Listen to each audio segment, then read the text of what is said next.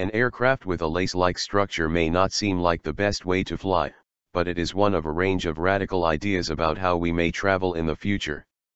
A model of the aircraft, designed by Airbus, was shown off at the TED Global Conference in Edinburgh.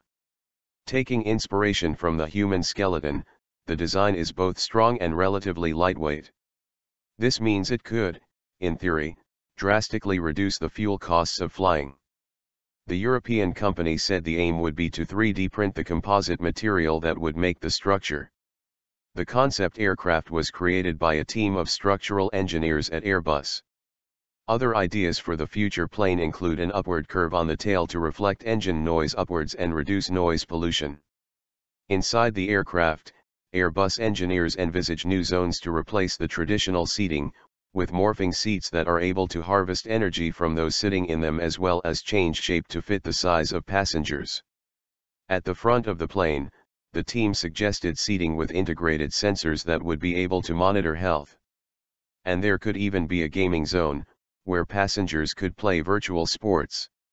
It was also suggested that instead of having small doors into the jet, as is currently the case, the planes of the future would have much wider entrances where people could leave their hand luggage.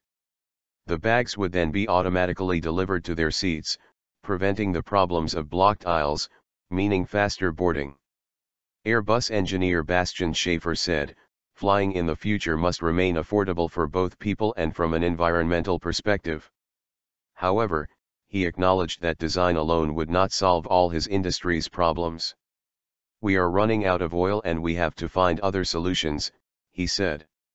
Some of this can be done via technology, but we are also looking for alternative fuels. Alongside its own concept plane, the aircraft manufacturer also challenged students from around the world to develop their own eco-efficient ideas for aviation, with five finalist teams selected this week. Their ideas include Engine modification made from special shape-shifting materials to change airflow through the engine and reduce noise pollution. Luggage floating on a bed of air. The use of methane as an energy source.